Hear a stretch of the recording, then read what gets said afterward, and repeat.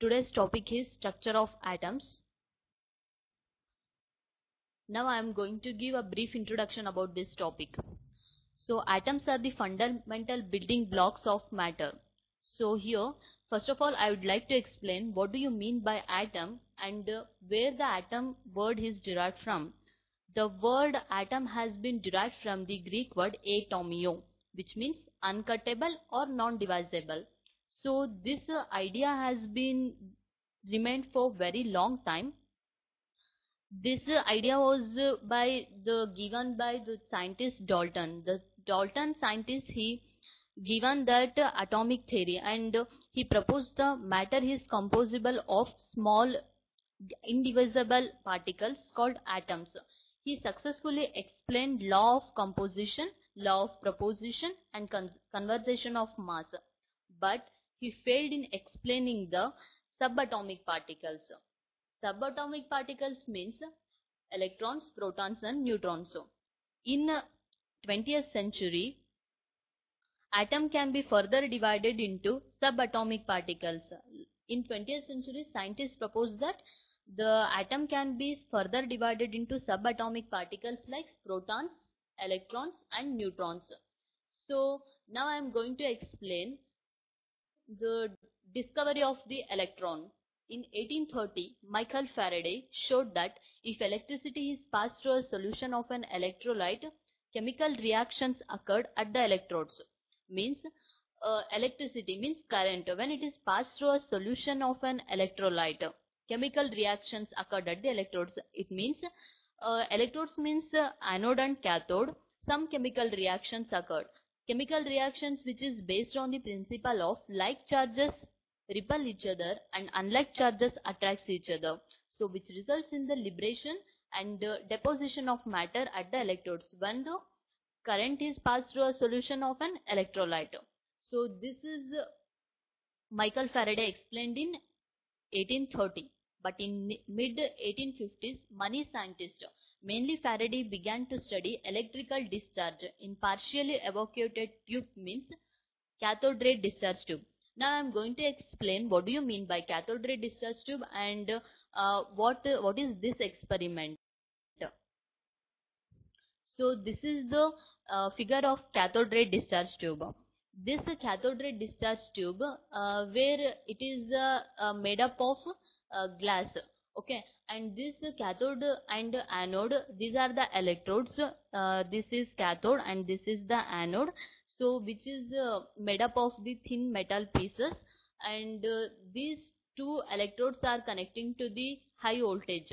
When we are applying uh, this high voltage and by maintaining the very low pressure stream of electrons can stream of particles can move from cathode to anode. Like this stream of electrons move from cathode to anode so uh, by we can uh, adjust that uh, very low pressure means by adjusting the evac evacuation tube so whatever happening inside this glass tube we can't observe in this so that uh, uh, so I explained this particles moving in the tube from negative electrode to the positive electrode. These are called cathode rays or cathode ray particles.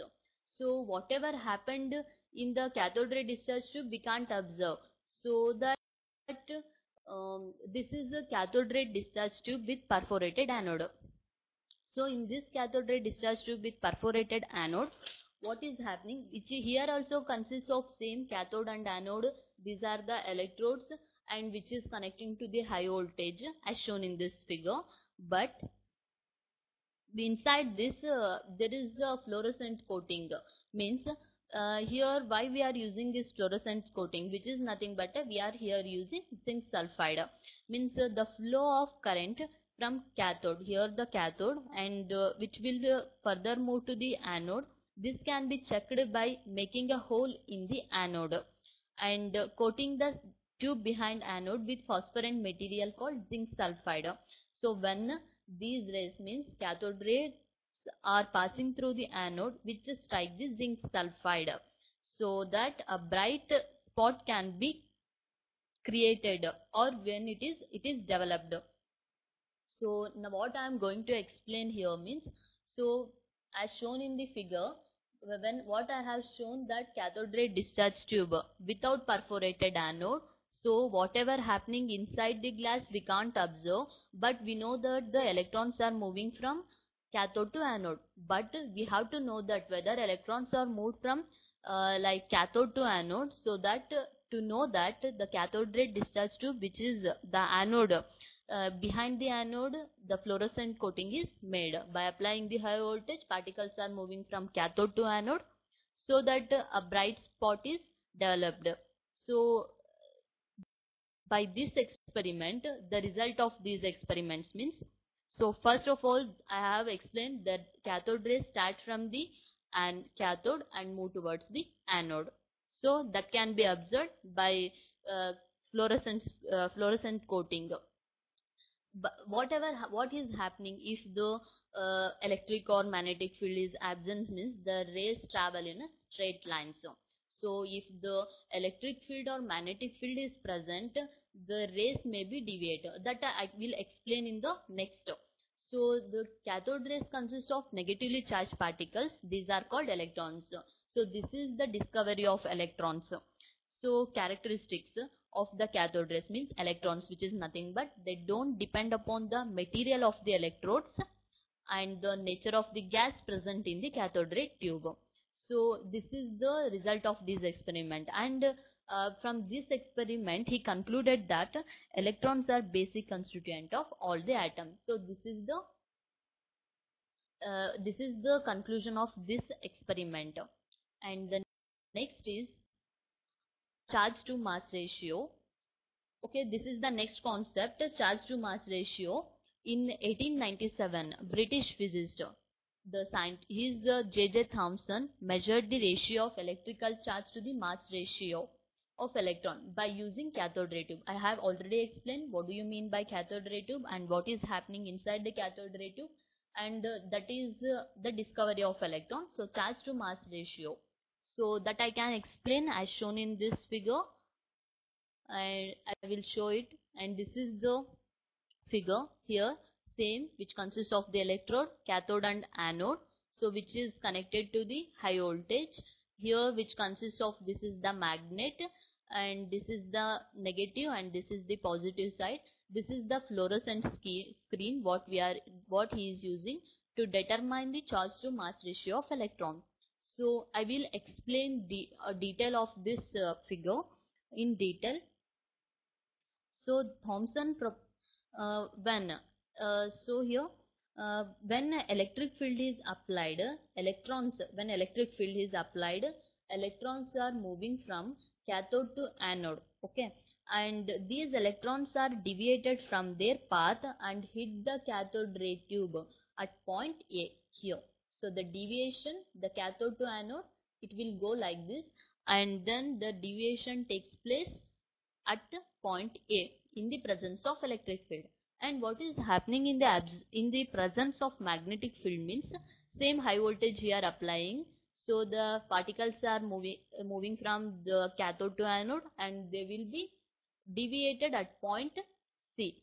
This is when the magnetic field is present and when both both are absent when both the magnetic field and electric field are absent so they move in a straight line so i have explained in the in this the result of this experiment. I said that in the absence of electric or magnetic field these rays travel in straight lines. So, so this is uh, proved in this block diagram. Yes. So when cathode to anode so when high voltage is applied in the absence of both magnetic and electric field, so they move in a straight line. Then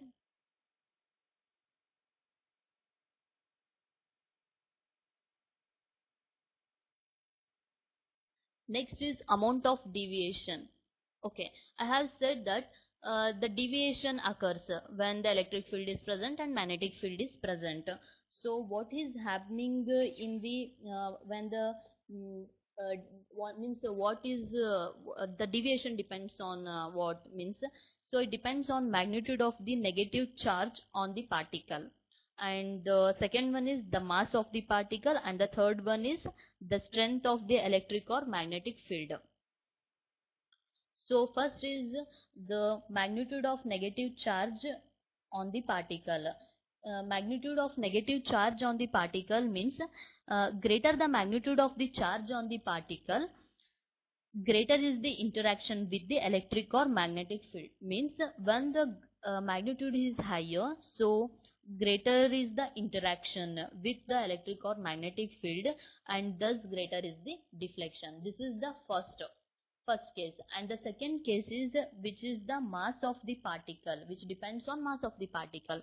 When the uh, when there is a lighter the particle and greater the deflection and the third one is the strength of the electric or magnetic field the amount of deviation depends upon the strength of the electrical or magnetic field the deflection of electrons from its original path increases with the increase in the voltage across the electrodes or the strength of the magnetic field. Yes, the deflection increases when the voltage across the electrodes increases.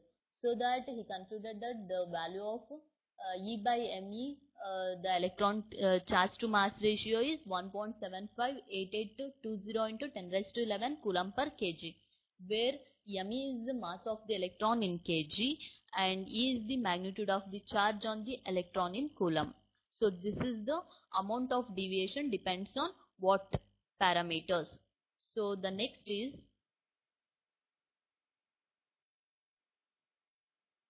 I have I have explained the subatomic subatomic particles are electrons, protons and neutrons.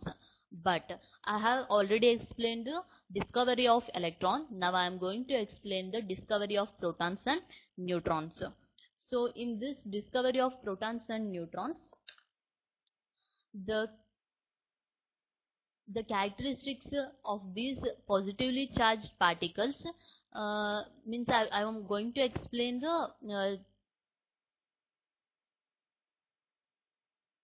positively charged particles depends on the nature of the gas present in the cathode ray tube uh, which is uh, having the characteristics of totally opposite to that of the negatively charged particles. I have explained that uh, whatever happened in the negatively charged particles means electrons. The electrons are not depend upon the nature of the gas present in the cathode ray tube. But here positively charged particles depends upon the nature of the gas present in the cathode ray tube. So the second one is the charge to mass ratio depend on the gas from which these particles originate. So here the charge to mass ratio depend upon the gas from which these particles originate. The third one is the behavior of these particles is opposite to that observed for electron. Yes, by observing only we can by observing these two characteristics we can say that the behavior of this particle is opposite to that observed for electrons. So this is about proton and neutron. And so what do you mean by proton and what do you mean by neutron? So the smallest and lightest positive ion obtained from the hydrogen and it is called protons. So very smallest and lightest positive ions are called protons. Then what do you mean by neutrons? When electrically neutron particles having a mass slightly greater than that of the protons means they are called neutrons. So I have uh, whatever I explained means electrons and then protons and neutrons, the discovery of electrons, discovery of protons and discovery of neutrons. So what do you mean by electron? What do you mean by proton? What do you mean by neutrons? So this is about the proton, this is about the neutron. The second, next is